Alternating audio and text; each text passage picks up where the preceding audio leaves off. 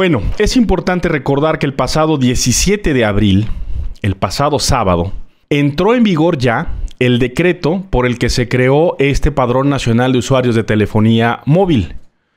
Es decir, a partir del sábado pasado, todos los usuarios de telefonía celular, todos estamos obligados a facilitar, a entregarle la información personal a las compañías telefónicas con las que tengamos un contrato o una línea telefónica móvil. En México se conoce como telefonía celular.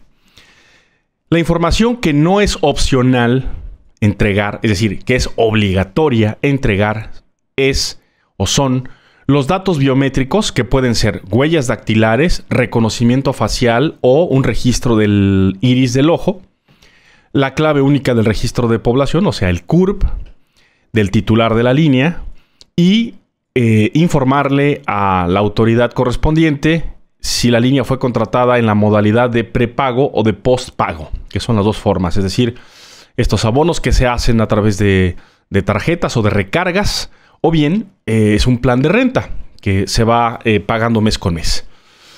La pregunta que ha surgido es, ¿qué pasa si me niego a entregar mis datos? ¿O qué pasa si no entrego mis datos? Porque mi línea a lo mejor la contraté hace cuatro años y estos datos no me los pidieron, solo me pidieron una copia del INE, me pidieron un comprobante de domicilio, tal vez. Firmé por ahí algún documento, algún contrato, pero nada más. No entregué mi CURP, no entregué, eh, por supuesto, mis datos biométricos. Y entonces, ¿qué va a pasar?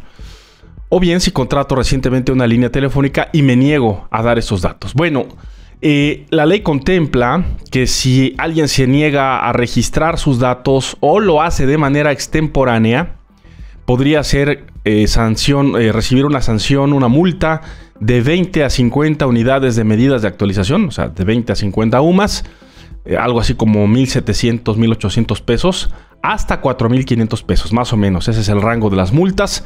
La fracción 2 del artículo 307 ter de, esta, de este decreto establece que la multa para operadores de la telefonía, es decir, para las empresas, si no cumplen con estos requisitos, irá de los 44 mil a, los 89 mil pesos. Y en caso de que las compañías telefónicas, los operadores de telecomunicaciones caigan en la tentación de hacer un uso indebido de las bases de datos que van a recabar por ley, entonces van a ser acreedores a una multa de hasta 1.300.000 pesos. Eso contempla la ley. Será el Instituto Federal de Telecomunicaciones quien se encargue de la implementación del padrón y de su administración. El Instituto Federal de, de, Telecomunicaciones ya informó que va a requerir de un presupuesto de poco más de 109 millones de pesos solamente el primer año de eh, que va a llevar la creación de este padrón y para que los operadores de la telefonía, como Telcel, como ATT, eh, Telefónica, etcétera, sí o sí entreguen esta información de sus usuarios al IFT. Pese a que ya entró en vigor, los usuarios siguen todavía, seguimos todavía pues con muchas dudas. Muchas dudas, la forma, la ruta, el tiempo, etcétera. Y será el IFT quien vaya dando a conocer, una vez que ha entrado en vigor el decreto, vaya informando los detalles de esto.